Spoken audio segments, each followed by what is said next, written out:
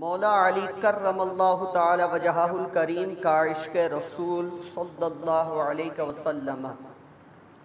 منقول ہے کہ ایک بار چند غیر مسلم امیر المؤمنین حضرت سیدنا ابو بکر الصدیق رضی اللہ تعالیٰ عنہ کی خدمت میں حاضر ہوئے اور کہا، اپنے صاحب یعنی سرکار دو جہاں کی صفات بیان کریں۔ آپ رضی اللہ تعالیٰ عنہ نے ارشاد فرمایا، اے لوگوں سنو میں آپ صلی اللہ علیہ وسلم کے ساتھ گارے سور میں ایسے تھا جیسے میری یہ دو انگلیاں۔ جبکہ ہیرا پہاڑ پر میں آپ صلی اللہ علیہ وسلم کے ساتھ چڑھا تو بھی میں نے ان کے بہت قریب تھا۔ اس قدر قرب کے باوجود آپ صلی اللہ علیہ وسلم کے سراپائے اقدس کو بیان کرنا بہت دشوار معاملہ ہے۔ ہاں علی ابن ابی طالب کرم اللہ تعالی وجہ الکریم کے پاس چلے جاؤ، وہ بیان کر دیں گے۔ وہ لوگ امیر المومنین حضرت مولا علی شیر خدا کرم اللہ تعالی وجہ الکریم ورضی اللہ تعالیٰ عنہ کی بارگاہ میں حاضر ہوئے اور ان سے عرض کی، اے ابو الحسن، اپنے چچا کے بیٹے یعنی پیارے آقا دو جہاں پر حبیب علیہ السلام کے اوصاف بیان کریں۔ تو آپ رضی اللہ تعالیٰ عنہ نے ارشاد فرمایا، آقا علیہ السلام نہ تو بہت زیادہ دراز قد تھے اور نہ ہی بالکل پست قد، بلکہ درمیان قد سے کچھ بلند تھے۔ رنگ مبارک سفید تھا، جس میں سرخی کی امیزش بھی تھی۔ مبارک ظلفیں بہت زیادہ گنگریالی نہ تھیں، بلکہ کچھ خمدار تھیں۔ جو کانوں تک ہوا کرتی۔ کشادہ پیشانی، سرمگی آنکھیں، چمکدار دان بلند بینی، گردن خوب شفاف جیسے چاندی کی سراحی جب چلتے تو مضبوطی سے قدم جماتے، جیسے بلندی سے اتر رہے ہوں۔ جب کسی کی طرف متوجہ ہوتے تو کامل توجہ فرماتے۔ جب قیام فرماتے تو لوگوں سے بلند معلوم ہوتے۔ اور جب بیٹھتے تو تب بھی سب میں نمایاں ہوتے۔ جب کلام فرماتے تو لوگوں پر خاموشی چھا جاتی۔ جب خطبہ ارشاد فرماتے تو سامعین پر گریا تاری فرما دیتے۔ لوگوں پر سب سے زیادہ رحیم و مہربان، یتیموں کے لیے شفیق باپ کی مانی، بیواؤں کے لیے کریم و نرم دل، سب سے زیادہ بہادر، سب سے زیادہ سخی اور روشن چہرے والے تھے۔ ابا یعنی جبہ زیب تن فرماتے، جو کی روٹی تناول فرماتے، آپ صلی اللہ علیہ وسلم کا تقیہ چمڑے کا تھا، جس میں کھجور کی چھال بڑی ہوئی تھی۔ چارپائی کیکری لکڑی کی تھی، جو کھجور کے پتوں کی رسی سے بنی ہوئی تھی۔ آپ صلی اللہ علیہ وسلم کے دو امامے تھے، ایک کا نام صحاب جبکہ دوسرے کا نام اقاب کہا جاتا۔ آپ صلی اللہ علیہ وسلم اشیاء ضرورت میں تلوار ذوالفقار، اونٹنی غدبا خچر، دلدل، گدا یعفور گوڑا بحر، بکری برکاتا، عصا، ممشوق اور جنڈا لواء الحمد کے نام سے معصوم تھے۔ آپ صلی اللہ علیہ وسلم اونٹ کو خود باندھتے اور اسے چارہ ڈال دیا کرتے۔ کپڑوں کو خود پہ بند لگا لیا کرتے، جوتے کی اصلاح بھی خود فرما لیا کرتے۔ مکمل حلیہ بیان فرمانے کے بعد امیر المومنین حضرت مولا علی شیر خدا رضی اللہ تعالیٰ عنہ وکرم اللہ تعالیٰ وجہ الکریم نے ارشاد فرمایا، لم ارى قبلہ ولا بعدہ مثلہ۔ میں نے آقا علیہ السلام سے پہلے اور بعد میں آپ جیسا دیکھا ہی نہیں ہے۔ اب قلم توڑا۔ اتنی خوبیاں بیان کرنے کے بعد کہا، یہ نہ سمجھ لینا، یہ ساری آقا دو جہاں کی خوبیاں بیان ہو گئیں، بلکہ سرکار سے پہلے اور سرکار کے بعد علی نے سرکار جیسا دیکھا ہی نہیں ہے۔ یہ ہے عشق رسول کی انتہا۔ ایک مرتبہ نبی اکرم صلی اللہ علیہ وسلم کے کھانے کا انتظام کرنے کے لیے حضرت مولا علی کرم اللہ تعالی وجہ الکریم ایک غیر مسلم کے باغ میں گئے اور کنویں سے پانی کے سترہ ڈول نکالے۔ ہر ڈول کے بدلے ایک کھجور طے ہوئی تھی کہ آپ جتنے ڈول نکالیں گے، ایک کھجور اس کے بدلے ملے گی۔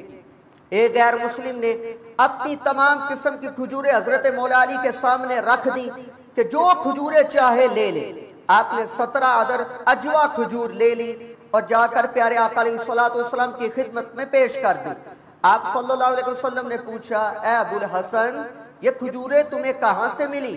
آپ نے عرض کی، یا رسول اللہ صلی اللہ علیہ وسلم، مجھے آپ صلی اللہ علیہ وسلم کے سخت فاقہ کی خبر ملی تو میں نے کام کی تلاش میں نکل گیا تاکہ آپ صلی اللہ علیہ وسلم کے لیے کھانے کی کچھ چیز حاصل کر سکوں.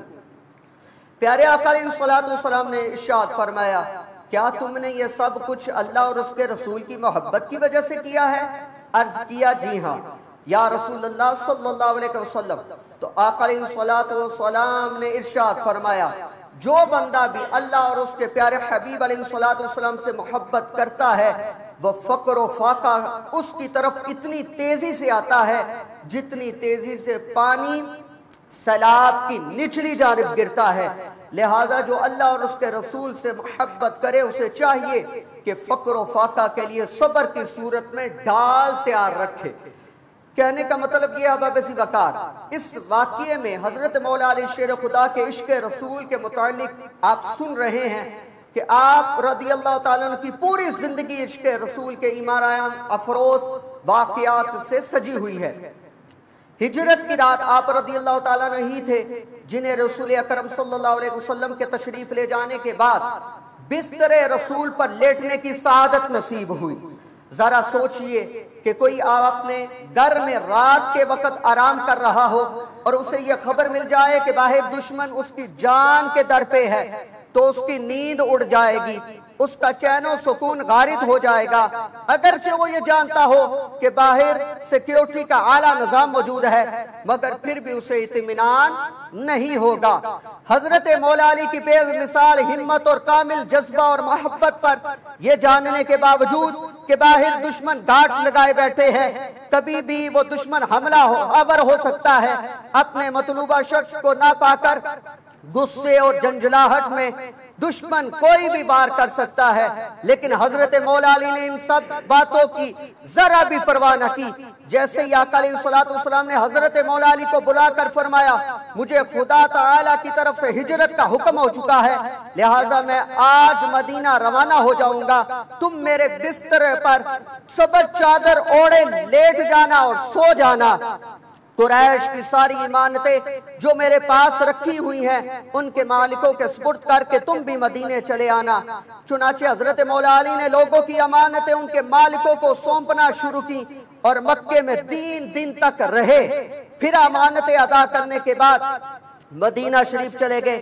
یہاں تک کہ قبہ شریف پہنچ گئے۔ آقا علیہ السلام حضرت کلسوم بن ہدم رضی اللہ تعالی عنہ کے مکان پر تشریف فرما تھے۔ یہ بھی وہیں ٹھہر گئے۔ حضرت مولا علی شیر خدا رضی اللہ تعالیٰ نے اس واقعے کے بعد آپ فرماتے ہیں کہ میں نے کسی رات چین سے نہیں سویا۔ یہ واحد رات تھی جس میں میں چین سے سویا ہوں۔ ان سے پوچھا کہ اس رات آپ چین سے سوئے کیوں؟ کہتے ہیں کہ میرے سرکار نے کیوں فرما دیا تھا کیا مولی، مولا علی، اس بستر پر سو جانا اور صبح اٹھ کر امانتیں دے کر واپس آنا۔ میں نے یہ جان لیا جب میرے سرکار نے کہہ دیا ہے۔ اب یہ بستر بستر موت نہیں بن سکتا، بستر راحت بن چکا ہے۔ یہ عشق بابسی وقار، یہ محبت کا اعلیٰ معیار حضرت مولائی مشکل کشا شیر خدا، کرم اللہ تعالی وجہ الکریم۔ اس کے علاوہ کی بے تمام، بے شمار حضرت مولائی شیر خدا رضی اللہ تعالیٰ کے واقعات ملتے ہیں۔ آقا علیہ السلام نے ارشاد فرمایا، حضرت عبداللہ ابن عباس رضی اللہ تعالیٰ عنہما اس کے رامی ہے آقا علیہ السلام نے فرمایا، نظر النبی الى علی جن یا علی وانت سید فی الدنیا وسید فی الاخرہ وحبیبک حبیبی وحبیبی حبیب اللہ وعدوبک عدوبی وعدوبی عدوب اللہ والویل لمن ابغضا بعد آقا علیہ السلام فرماتے آقا علیہ السلام نے حضرت مولا علی کی طرف دیکھا اور دیکھنے کے بعد فرمایا، اے علی، تو دنیا میں بھی سردار ہے. تو آخرت میں بھی سردار ہے۔ جو تیرا پیارا ہے، وہ میرا پیارا ہے۔ جو میرا پیارا ہے، وہ اللہ کا پیارا ہے۔ جو تیرا دشمن ہے، وہ میرا دشمن ہے۔ جو میرا دشمن ہے، وہ اللہ کا دشمن ہے۔ اور اے علی اس بندے کے لیے ہلاکت ہے جس نے میرے جانے کے بعد تیرے ساتھ بغض رکھا۔ آقا علیہ السلام نے مزید ارشاد فرمایا، یا علی، انت اخی فی الدنیا والآخرہ۔ اے علی، تو دنیا میں بھی میرا بائی ہے، آخرت میں بھی میرا بائی ہے۔ آقا علیہ السلام نے مزید ارشاد فرمایا، یا علی، من کنت مولاہ فعلی مولا اے علی، جس کا میں مولا اس کا علی تو مولا اور یہ ساری شان حضرت مولا علی کرم اللہ تعالی وجہ الکریم کی سرکار دو جہاں نے خود بیان فرمائی۔ اللہ رب العزت کی بارگاہ بے کس پناہ میں دعا گو ہیں۔ اللہ رب العزت اپنے پیر حبیب علیہ السلام کے وسیلہ جلیلہ سے ہم سب کو مولا علی مشکل کشا شیر خدا کرم اللہ تعالی وجہ الکریم کی شان و عظمت کو سمجھنے کے بعد آپ سے سچی محبت اور عقیدت عطا فرمائے۔ آپ کی محبت اور عقیدت میں زندہ رکھے اسی عقیدت میں موت عطا فرمائے۔ باخر دعوایا ان الحمدللہ رب العالمین۔